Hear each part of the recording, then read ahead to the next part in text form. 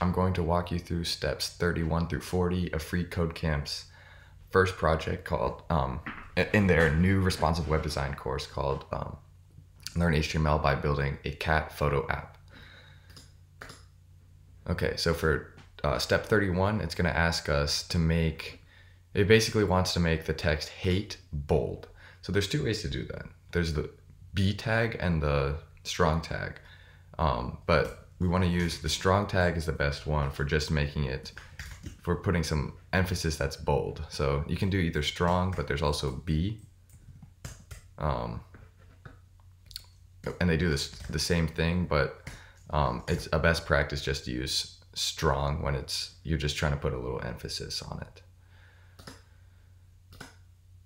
Okay, so the next one, it just wants us to add a third section after um, the second section. So we can see this is the opening of the first section, closing of the first section, opening of the first section, and down here is the closing of the second section. So all we're gonna do is we're gonna write section, and then section, a closing section. So right here we wanna fix this indentation because these two section tags should be on the same level because they're the same tag. So anything inside should be indented, but these ones should be the same. It's not required to make to go into the next step, but it's just a best practice. Okay, so if you do have the money, it's FreeCodeCamp is super great. So make a donation. They'll ask you every few steps.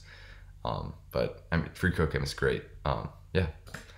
Okay, so next, all we have to do is add an H2. We've done this a lot. A header 2 with the text cat form. So if we look down here, there we go, cat form.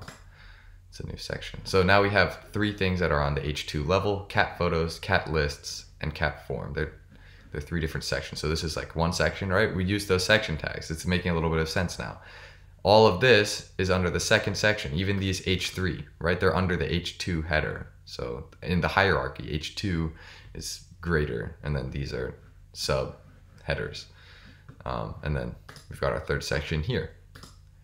So we're gonna add a form element inside. So form, and it just, if they don't say that it's a self-closing tag, just assume, it's, it's not gonna show anything here actually, um, but just assume that it's uh, it's got an opening and a closing tag. That's how most things are, um, but there are some exceptions, like the anchor tag for, um, sorry, not the anchor tag, um, the image tag is a self-closing tag.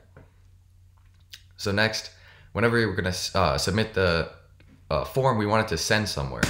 So we're gonna have to add an action equals, and then we can just copy and paste this, right? So that it's asks us to add an action attribute. So we're just gonna add this link right there. It's not gonna change what it looks like here, but when we press the submit button, it's going to send our all of our data to this link so that we can actually view whatever someone submitted on the form.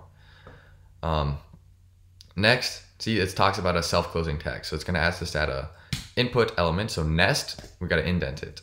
Input, and it's self-closing, so we don't need anything else.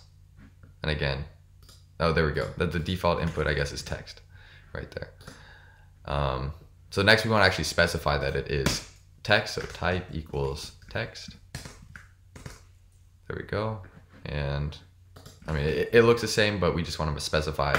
Um, it could be something else, like a number or um, there's a uh, there's a bunch of different things you can use with forms. Um, so next we want to do a name. So um, this is for submission. So when we receive the submission, we'll get the name. Um, so cat photo URL. There we go. Um, and so it's not going to change anything here again, but that uh, giving it a name of cat photo URL um, is, is going to help us when we receive the information for that link. So the next is a placeholder. This will actually change what goes here. So this attribute is going to be, it, it should be in gray color by default.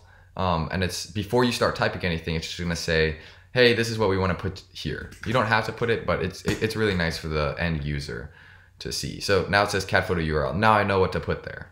Um, when I'm filling out the form. Okay, so next is required. This is just gonna make it so that before you submit the form, um, you actually need to put something in here. Um, otherwise, you can't submit the form. It's like if you're familiar with Google Forms, the red asterisk next to that's that signifies required.